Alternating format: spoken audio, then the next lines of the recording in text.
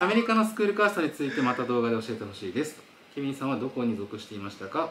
ちなみに私は文化系なので体育会系のイケイケノリが苦手です。スクールカーストって何？なんかさサッカー部はかっこいいみたいああクラブ的なね？なとかまあそそれだけじゃなくてあの一軍イケイケ集団みたいな。とかさこうなんとなく確かに日本はある感じがあるよね。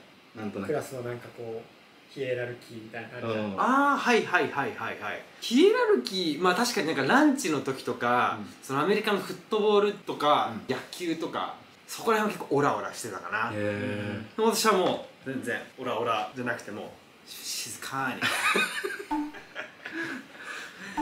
えこれは何？よ全然これランチてランチトレーそれを。そう。イケイケの人たちはこういうことそうそうそう俺はこういう感じ食べる食べる何よこうやって置くやつ。山ちゃんイケイケのカーストそうじゃない？いやーでもサッカー部だったからねそういう嫌な風に見られてたよおそらく。あそうなん嫌な風に思われてたでしょ1 軍2軍とかって言わない？いやなんかねそのイメージも確かにあるけど自分が高校生の時は言ったことなかったような気がする。そういう感じあった、いや言ったことはないな。てなかった？俺1軍だなみたいな。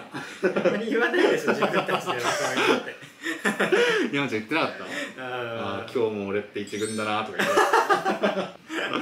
やばいやつ。5軍くらいまである印象。へえあんまりなんか行ったことないかった気がする。そうだねうちの高校なんかいろんな尊敬のされ方があったから。いろんな尊敬のさそうれ方。そうなんかその運動ができるみたいのをまあ一目置かれてたし、うん。めっちゃ勉強ができる人もうん。やっぱ一目置かれてたし、うんなんか変な趣味持ってる人もいてそれはそれで一目置かれてたから、うん、うん、あんまりなんかこういう一個のピラミッドみたいな感じじゃなかったかもどっちかっていうと。俺が通ってた高校も結構そういうタイプで割とごちゃごちゃだったも。ん、うん、サッカー部の中に一人帰宅部のさめっちゃ勉強するやつがたまに混じって喋ってたりとか、うん。であんまそういう感じだったな。